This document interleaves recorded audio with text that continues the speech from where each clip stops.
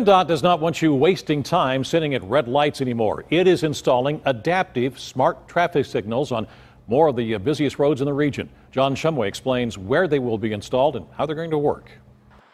PennDOT says the Murrysville system reduces commutes in some cases by 50%.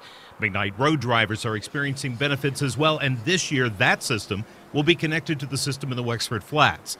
And another system is being completed in Bridgeville near I 79. Now come three new systems in the pipeline for this year.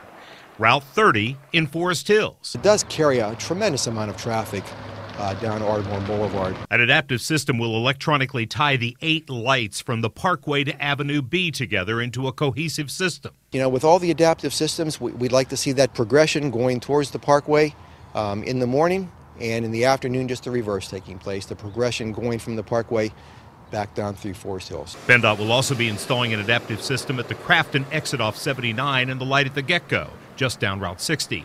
Kravitz hopes it will eliminate bottlenecks by doing what adaptive systems do. It varies based on the amount of traffic at that intersection, and it services the greatest need.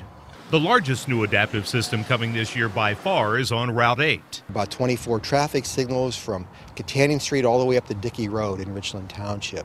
Some of the intersections already have cameras, but more will be added along with laser and infrared sensors. Most of the work that we're going to be doing is going to be doing off peak times. Most of that work off of the driving lanes. So, when will your commuting load be lightened?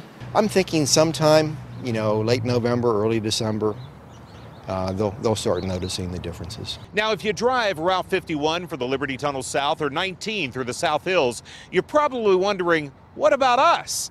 Well, PennDOT is working on those plans, but it's going to be a couple of years down the road. In Hampton Township, John Shumway, KDKA TV News.